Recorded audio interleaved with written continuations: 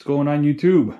Today we have a little bit of an upgrade for my car audio videos and let me show you what I mean. And this is what I'm talking about. A 100 amp 12 volt power supply. It'd be cool to uh, power up some stuff and uh, have some fun down here. So before I used to try to power amplifiers on this little guy here. Let's see if I can find any details on here. So I see 5 amps right there. So there's a 5 amp small power supply. So before, I would try to power a car stereo, let's say a small amplifier, and as soon as I turn it up, it would shut off. So I purchased this PowerMax 100 amp AC to DC power supply. And from what I've seen, this should do the trick. I've had this for over a week now, and I haven't opened it. So we're gonna open this together and see what's inside. And as I mentioned, I haven't opened this up yet. I'll show you guys a piece of tape that's intact right there. All right, it's all together still. So let's open this up. Let me get a knife. Here we go.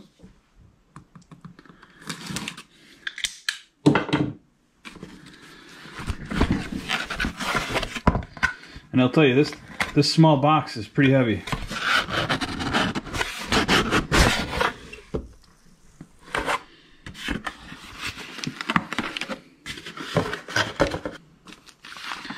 All right, so we got some instructions. Very nice. All right. And there it is. So let's pull this out.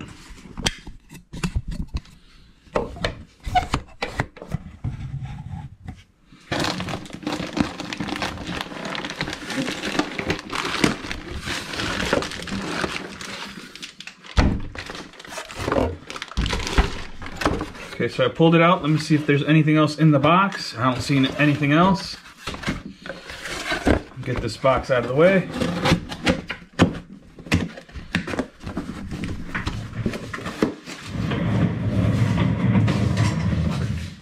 Here she is, guys.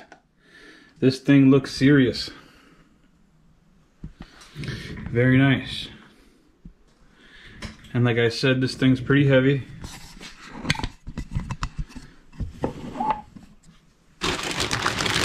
Take it out of the bag.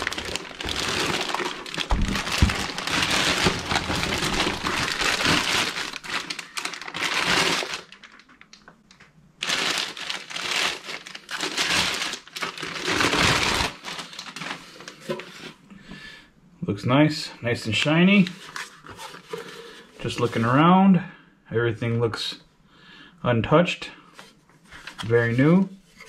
There we go. So the cord looks very heavy duty. Okay, I'm gonna set this down so we can look around this thing. Okay, as mentioned, this is a 100 amp uh, 12 volt power supply. And as you can see, it's made by PowerMax. And here's the front of it. So there's your negative and positive. There's four fuses there. They're all 40 amp. Alright, that's one side. Okay, here's the other side. And on this side, you get two dials. So this dial here, you can either switch it from a fixed output or a three-stage uh, output power. So what I mean by that, this is actually used in the RV world as a battery charger.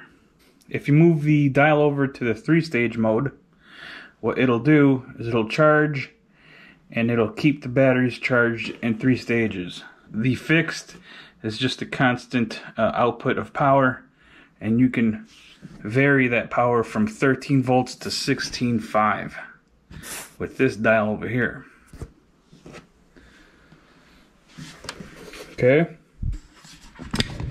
Set you guys down for a second because this thing is pretty heavy and I got to move it around.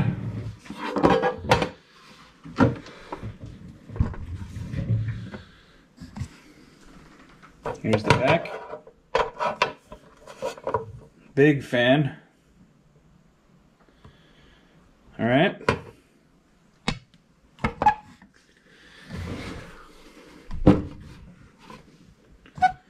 Other side has nothing. And let's see what this bottom looks like.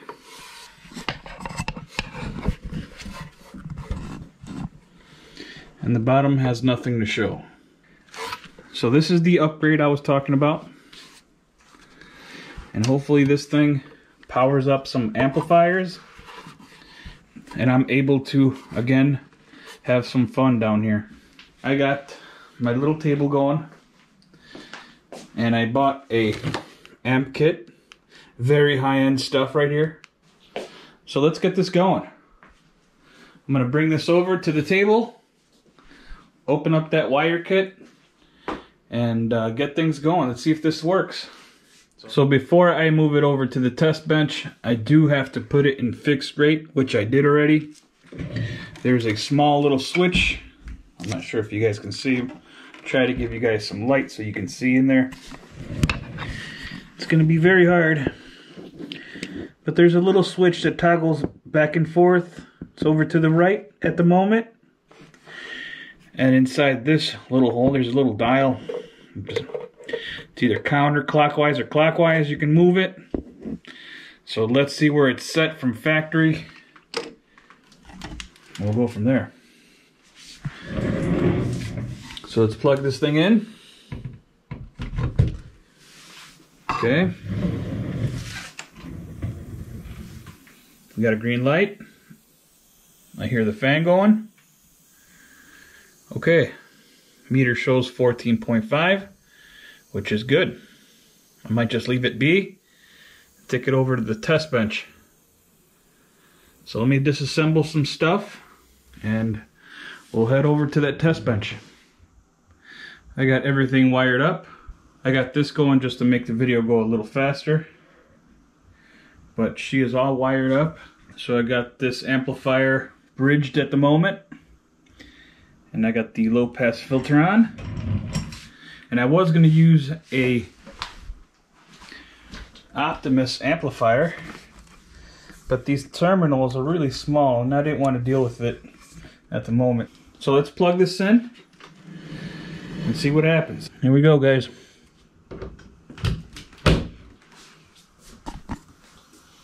And we got a green light.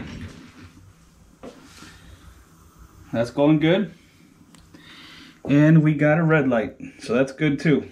So I'm going to be playing some YouTube approved music.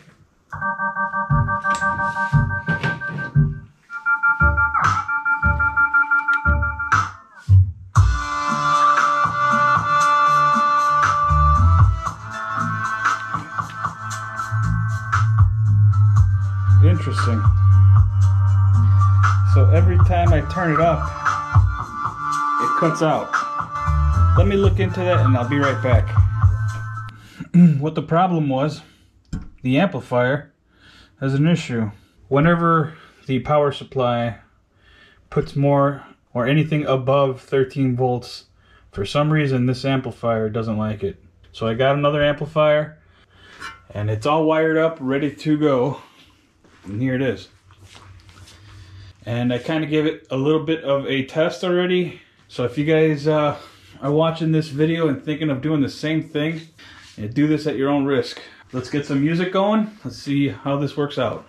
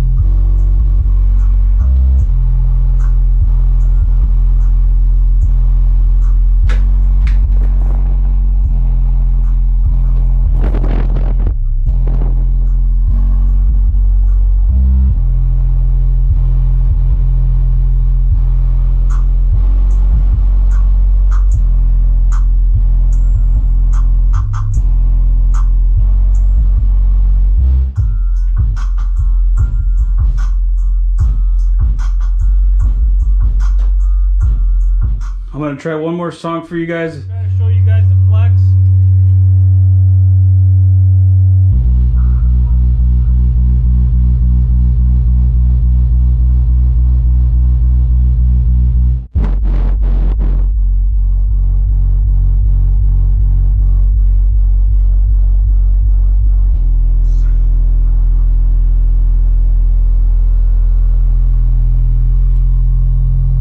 So overall, I think it's doing pretty good. Um, definitely pushing the amp. The amp is definitely warm. That's one thing about these old school amps. They used to get hot. This thing's pretty hot. So I'm gonna give that a break. As far as the power supply, it's starting to feel a little, little warm, but nothing like the actual amplifier. This thing even smells kind of hot. I'm kind of surprised uh, it's still going. I mean, it's a pretty old amplifier and uh, she's still pushing hard. So I'm very happy that I purchased the power supply and hopefully this power supply can push something bigger than this little guy. So again, I just wanted to show you guys my new setup. So thanks for watching everyone and I will see you guys on the next one.